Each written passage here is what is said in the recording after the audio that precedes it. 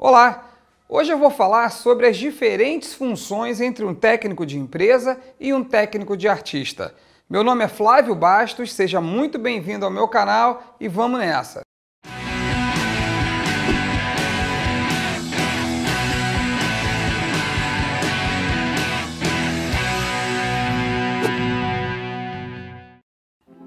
O vídeo já vai começar, então se você ainda não é inscrito no meu canal, inscreva-se agora, aperte no sininho e fique por dentro de todas as futuras novidades.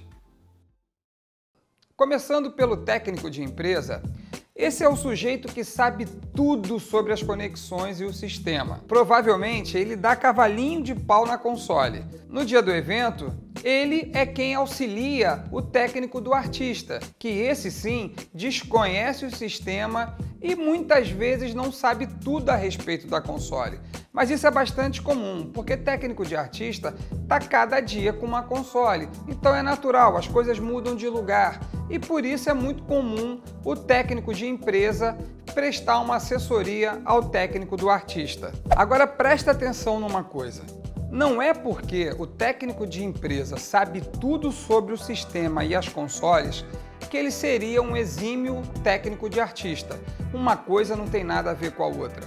O técnico do artista vem da escola do estúdio, ele treina bastante o ouvido, porque aqui a função dele é juntar aquilo tudo e mixar, achar um lugar para cada instrumento dentro da música. Já o técnico de empresa, ele não estuda isso, ele pratica as conexões, ele estuda as consoles, ele estuda os equipamentos em sua individualidade.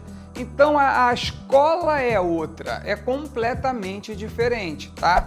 É muito comum se deparar com a situação que o técnico do artista se apresenta como engenheiro.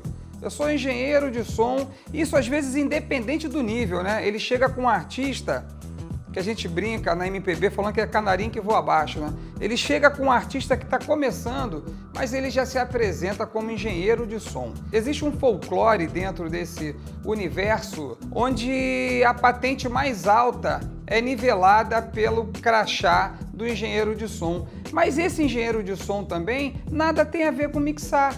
Eu já cansei de ver gente aí que se apresenta ou então até é de fato engenheiro, mas o PA não é bom. Porque também não tem nada a ver uma coisa com a outra, a escola também é outra.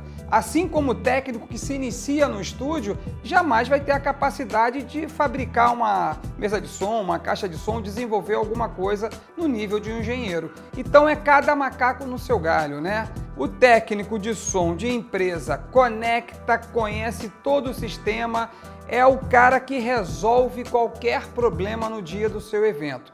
O técnico do artista é quem mixa, quem distribui a carta certa para cada casa, arruma um lugar certo para cada instrumento, ele mixa. Né? Então, esse é o técnico de artista.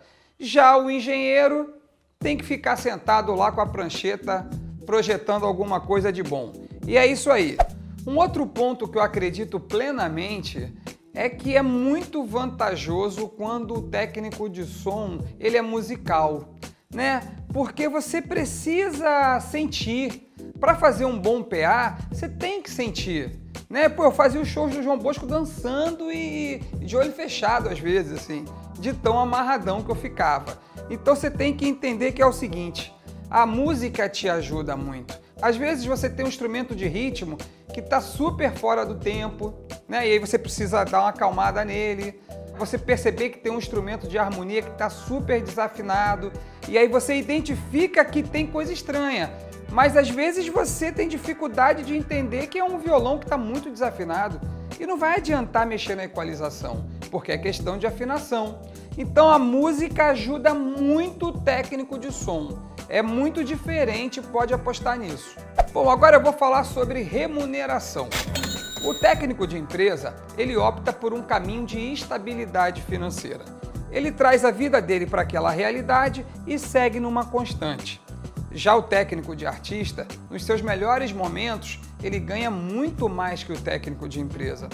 Porém, em outros ele fica sujeito à negatividade e deixa de receber. Quando tem show, tem grana. Quando não tem, não tem. Aqui tem grana o tempo inteiro. Um outro ponto é que artista troca a beça de empresário. Quando troca o comandante, acaba trocando toda a equipe e a sua cabeça está sempre a prêmio.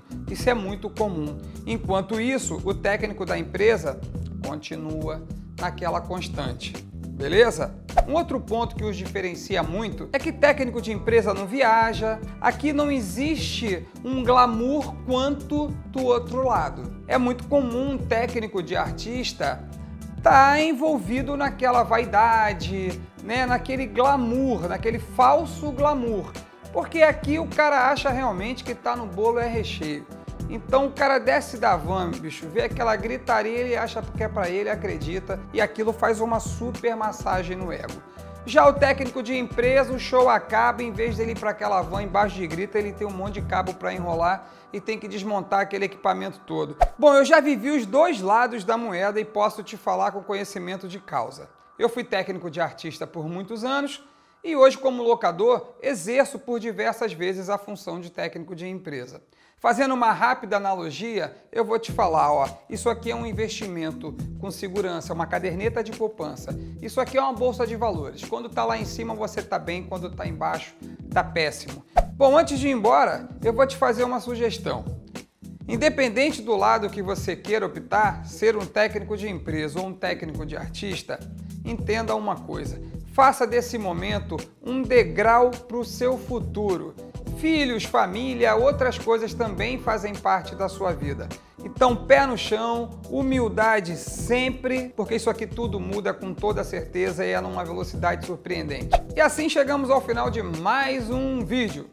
Se você gostou, não se esquece de se inscrever no meu canal. Isso é muito importante, ajuda o canal a crescer. Falou? Valeu, obrigado, até semana que vem. Tchau, tchau.